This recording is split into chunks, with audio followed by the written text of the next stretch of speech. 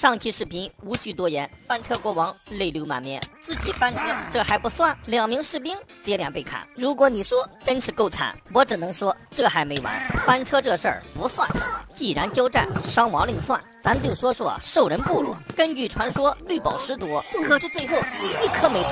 单说这事儿确实窝火，可是我也真没有辙。回家之后，发育士兵钻石长戟全都附魔，出门碰上小猿毒教，这战斗力有点难搞。单独骑士钻石长枪，这身打扮有模有样，但是你别跟我硬刚，因为我是翻车国王。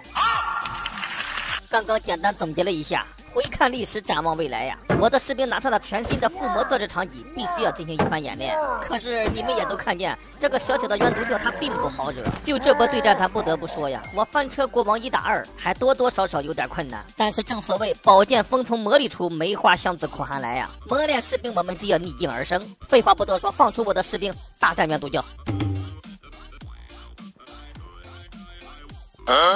啥意思？玩消失呢？这个地方好像不是个据点啊，兄弟们，我怎么看着像是个教堂啊？正如你们所见啊，这个地方也没有别的士兵，只有四名冤毒骑士看守，而且刚才还被我解决了两名。那这样一来的话，咱该说不说啊，有点不太够我打呀。怪不得这个冤毒骑士这么难打，原来都是精兵强将啊，很顺利，剩下的两名冤毒骑士也被我们解决掉。然后兄弟们啊，咱们看这里，到了雪地这个地方，就会凭空刷新出这么一种生物，它的名字叫冰封幽灵，外观跟烈焰人啊相似度百分之九十九点九。那这个家伙最恶心的是什么东西呢？那就是你一旦被他命中，行动迟缓，身体僵硬，就连大跳都跳不了。不过好在呢，这玩意儿不是特别的厉害，咱兄弟们游玩的时候注意一下就 OK 了啊。那么咱就说，既然刚才那个冤毒教这么不给力，没有关系，兄弟们，旁边还有一个部落，这个部落是女巫灾星，这个据点呢不是很大，但是建造的比较别致。实在不行的话，我们就把这里拿下。说时迟，那时快，我是一刻不能等待。砰砰射了几箭以后，我手持钻石大剑，立马参与战斗。参与战斗，我才发现这个不是女巫灾星啊，兄弟们，这是我们的死对头守卫者呀。上次大战守卫者，四名士兵全都折，光杆司令就剩我，难过一宿很上火。今天再战守卫者，有句俗话这么说：不蒸馒头争口气。今天看我完爆你！我这砍了半天大门，我才发现外面有个开关。咱就说这个大门一打开，熟悉的声音，熟悉的模样，我抡起宝剑迎面就上。这钻石大剑的威力，兄弟们说怎么样？守卫者领主居然被我一剑拿下，现在我很后悔，钻石大剑早就该提前安排上。很快啊，也就是分分分钟的事儿，兄弟们，这一楼的守卫者全部都被我们拿下。稍微再看一下士兵的血量，风力五和生命集全，那果然是 YYDS。去你的小叉叉！随后我就来到了楼上，这个守卫者的据点可能没有上个守卫者据点的士兵多。我这一顿操作猛如虎，真的兄弟们，手拿把掐呀！可是我的这帮士兵啊，咱怎么说呢？怎么就这么傻？说跳下就跳下，这个操作我真的是相当无语啊！还是那句话，别跟 AI 生气，跟他们生气的话，我能把自己气死。就这样，很快啊！您猜怎么着？拿下了冤毒教，战胜了守卫者。这旁边居然还有一个女巫灾星，我国士兵显然没打爽啊！没办法，继续战斗吧。这个地方我这一看啊，应该也不算是个部落，我看像是个教堂啊。哎，什么声音？女巫灾星大师，生命值七十。要不我就说呀，这女巫灾星啊，实在是太逊。你都大师级别了，你还拿一把金剑？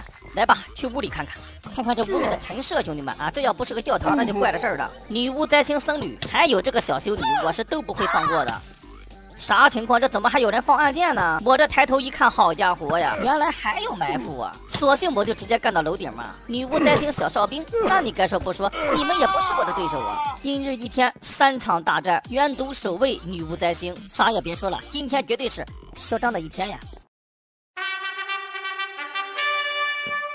Day four。次日上午，翻车国王带上鞘翅，正在物色目标的时候，我又发现了这个亚瑟大雕像。此时此刻，我什么装备呀？极品附魔钻石套装，外加一把钻石大剑，防御还有钻石盾牌。那么怎么说？如果带领士兵打，不是全军覆没，就是全军覆没。所以我决定自己盘一盘。那这一战怎么说呢？也算是再次大战兽人部落吧。首先，平台号的弓箭兵先给他清理一下，然后呢，亚瑟雕像头部内部的士兵再给他清一清。毕竟今天我是孤军奋战，要想拿下这里，不玩点策略肯定是不行的。这个亚瑟雕像我就不多说了啊，这里可有一个大主宰呀，血量高达一百五十颗星，差不多了。现在拿出咱们刚刚得到这个活塞魔杖。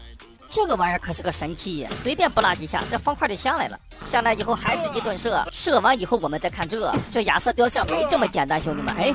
刚才我好像是不是说错了呀？这里的士兵不是兽人部落，这是蛮人部落呀。还是那句话，你就拿了一把小石斧，拿了一个小木盾牌，你怎么跟我斗？连我这个火箭附加你都扛不住。正所谓擒贼先擒王。经过了一番激烈的战斗，这个所谓的蛮人小 boss 他就出现了，兄弟们，他的名字依然凶悍，恶魔魔王，手持一把钻石剑，个头挺大还不算，哐哐砍我好几剑，感觉没啥还挺舒坦。是我装备太强，还是恶魔魔王太弱呀，兄弟们？啊，就这你怎么跟我斗？本来我是想远程攻击使用毒液，但现在一看啊，根本就不需要了。虽然他的攻击频率比较高，但是我的钻石盾牌也不是吃素的。你一剑我一剑，咱俩看谁先完蛋。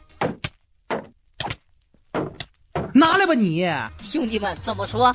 我这血量也很危险啊！幸好我的钻石大剑伤害比较高。就这样解决掉恶魔魔王以后，我算成功打入了敌人内部。本来我还是想猥琐发育，站在楼梯上射他们几下子，可是不曾想这蛮人士兵还是有点东西的，一箭就把我射了下来。但是问题不大。众所周知啊，翻车国王我是最会玩剑和玩剑，不管你是剑还是剑，我都玩的有模有样。所以很快啊，这里的士兵又被我解决了。那目前这个地方呢就很好理解了，我们就顺着下面这个楼梯一直往下杀，杀到地面为止，这个蛮人部落就被我拿下了。行了。既然目标就明确了，那我们就开始战斗吧。蛮人头领手拿一把大铡刀，左手还有大盾牌。他们先给我来了一个两面夹击，这一夹击让我多少有点抽搐啊！瞬间就让我有了一种两拳难敌四手的感觉。此时此刻，你们注意我的血量，兄弟们啊，两颗半的心。你说我不跑，我跟他们打。近战有铡刀，远处有弓箭。我想爬梯子，我还没上去。不得不说，我确实是有点慌了。刚爬上去又被砍下来了，血量还剩一颗半。这种情况怎么办？人生自古谁不死，古来征战几人回呀！当时我说实话，我真就豁出去了，我只能往这里跑了，没有别的办法了。没想到这个地方还真是一条出路。由于这个地方地势比较险要，我利用地形的优势与敌人拉开距离。这个时候赶紧的吃块牛排压压惊。不得不说，这牛排一吃上我就站起来了。蛮人萨满，